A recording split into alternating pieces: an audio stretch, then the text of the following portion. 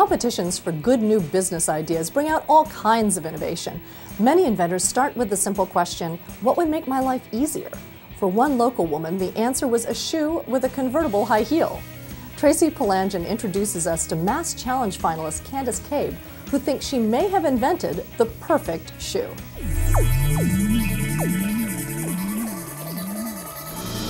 I personally wear high heels every single day, and I hear that hope is in the horizon.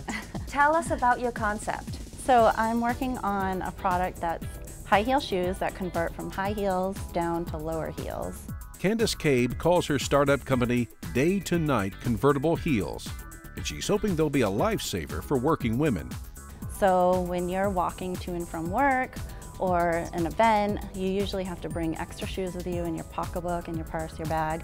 And with my shoes, you won't have to do that. So when your feet start hurting you, you can just simply put on a smaller heel and it'll be much more comfortable for you. Or on your work, on your um, way to work in the morning, on your commute, you can wear your smaller heels and then when you get to work, you can pop on your higher heels.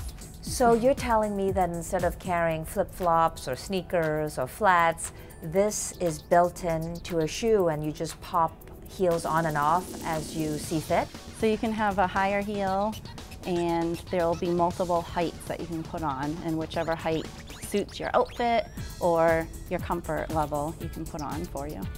It will work like this. The shoe has a button that will remove the heel from the back, allowing you to change to whatever height you prefer. The plan is for the shoe to come with five different size heels in half-inch increments. And one of the reasons for that is we've identified a market where um, women have one leg that's shorter than the other, and one of their legs, um, you'll be able to put on a higher heel height on the left leg rather than the right leg, and that might even So there's a medical benefit. Right. Candace, how did you come up with this idea, and when did you come up with this idea? I came up with it probably about five years ago. I'm sure one night when my feet were really hurting me and I was just looking at a pair of stiletto shoes and I thought, you know, looking at that thin heel, it looks like you could easily put in a screw or something like that. So why can't you just make a shoe that has a screw-on heel?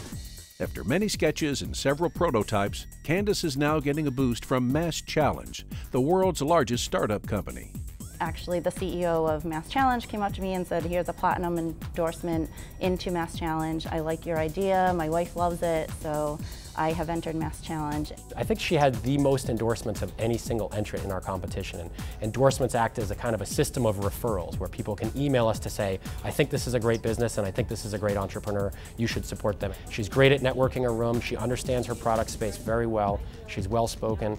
I think she's got a great future in front of her. The purpose of Mass Challenge is to bring together some of the best and brightest startup companies under one roof, giving entrepreneurs office space, plus help in financing and marketing their ideas.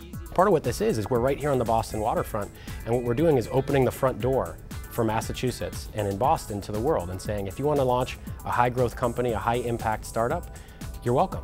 Come here and we'll make sure that you get every single thing that you need and we'll do it free of charge and with no strings attached. To be sure, the day to night shoe is an innovative solution to a long standing problem. But there's one other very important factor that's certainly not being overlooked style. Tell me about your vision for the style aspect of this shoe. So we want to have um, shoes that have no platform, shoes that have a half inch platform and a one inch platform. Over the past few years, platforms have become very popular and they're much more comfortable to wear. And we want to have the top of them be very stylish as well. So um, in the fashion industry, styles change every season. So we have to be somewhat conservative so that people will not get sick of the styles, but we also want to be a little bit more fashion forward and trendy.